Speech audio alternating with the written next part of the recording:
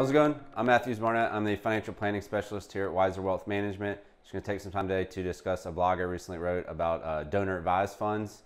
Uh, so when they changed the tax code in 2017, uh, they doubled the standard deduction.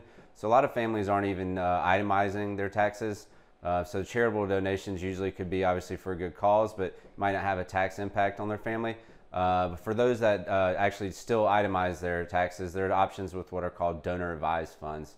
Uh, donor advised funds can be set up through various brokers or custodians, or here in Marietta, the Cobb Foundation uh, provides opportunities to give back to local uh, charities and 501c3 uh, companies as well. what a donor advised fund is, is it allows you to get an immediate tax deduction up front for giving to the fund.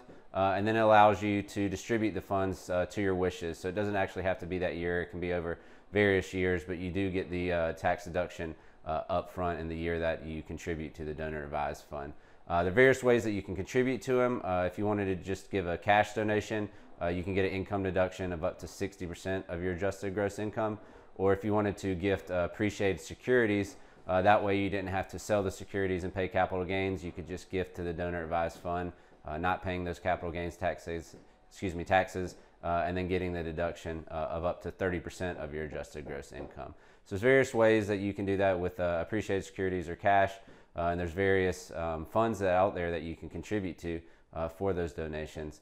if you'd like to learn more about donor advised funds and how they operate, you can go to our website at wiserinvestor.com.